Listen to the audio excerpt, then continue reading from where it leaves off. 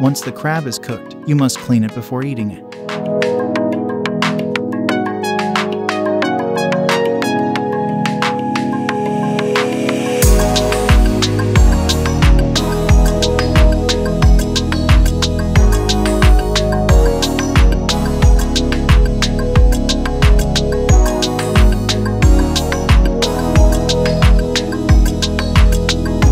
You'll need a few tools to eat crabs, such as a crab cracker or nutcracker, a small fork, and a small spoon.